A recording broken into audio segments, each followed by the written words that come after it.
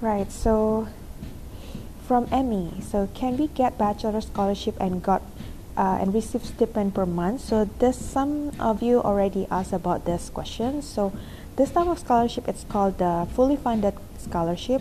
Normally it is a part of the Chinese government scholarship or what or what everybody knows as the CSC scholarship.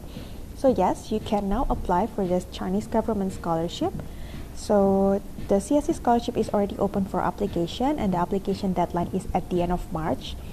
Please apply uh, on time and please do not apply after the deadline because Chinese universities do not accept late applications for scholarship.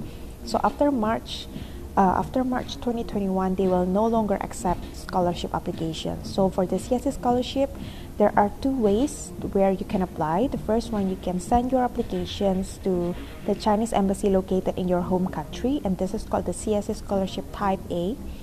And the second type is the Type B, where you need to send the application documents to the university in China. So, for example, if you're applying for Shandong University in China, then you need to send the application documents uh, completely and also pay the application fee to Shandong University in China.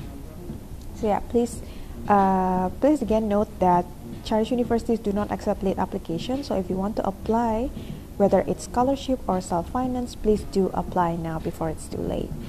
And then there's also some other things as some partial scholarships that we at China Admissions can help you to apply for. For example, there's this bachelor scholarships at BLCC and Tianjin University where you can learn Chinese for the first year and then you can continue to learn bachelor's program for three to four years.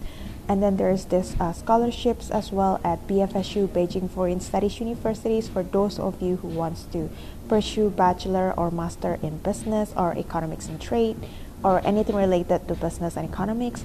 And then there's also this scholarship at Jiangsu University it's the presidential scholarship, which is the Jiangsu University Scholarship, which is mainly for the master's and PhD students. So they have the two, like a big tuition fee discount for master students. It's like almost 80% or like 90% of the tuition fee is going to be free. But for the PhD students at Jiangsu University, then the tuition fee will be free and they will give free accommodations to all PhD international students. So how to get a scholarship, how to apply for the partial scholarship at Jiangsu University or at BLCC, please do check China Admissions. You can easily find our platform on the profile of our Instagram. You can search the program there.